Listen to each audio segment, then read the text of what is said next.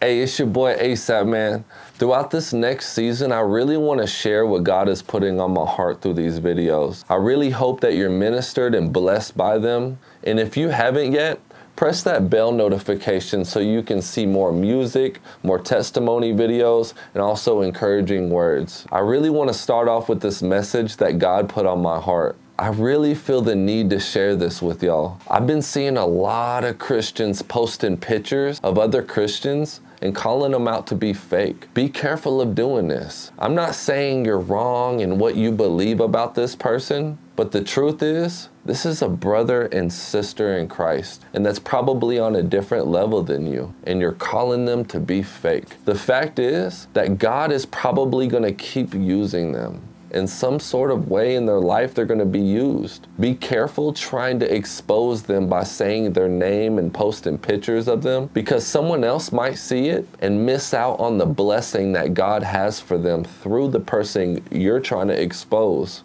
God still used you when you didn't have it all figured out. Truth is, we all don't have it figured out. We are all on different levels of faith and going from glory to glory. Remember this. Matthew 13, another parable he put forth to them, saying, The kingdom of heaven is like a man who sowed good seed in the field. But while the men slept, the enemy came and sowed tares among the wheat and went away. But when the grain sprouted, it produced a crop. Then the tares also appeared. Then the servants of the owner came and said to them, Sir, did you not sow good seed into our field? How then does it have tares? And he said to them, An enemy must have done this. The servant said to him, Do you want us to go and gather them up? But he said, No. Least you gather up the tares, you also uproot the wheat with them. Let both grow together and until the harvest. And at the time of the harvest, I will say to the reapers, First gather up the tares and bind them into bundles